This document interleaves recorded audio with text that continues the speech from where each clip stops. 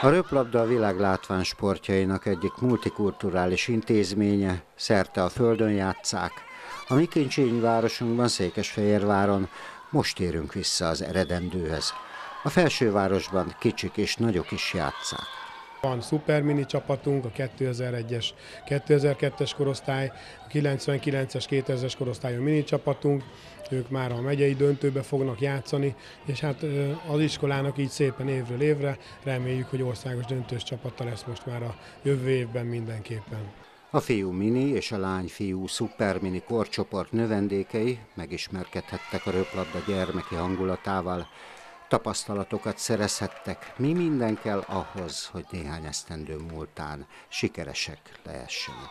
Szeretek röplabdázni, meg, a, meg jó edzésekre járni is, mert sokat tanulok.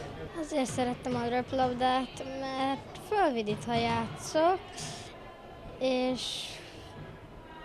jó, mert csapatban kell játszani, mert passzolgatni kell, és jó érzés pontot szerezni.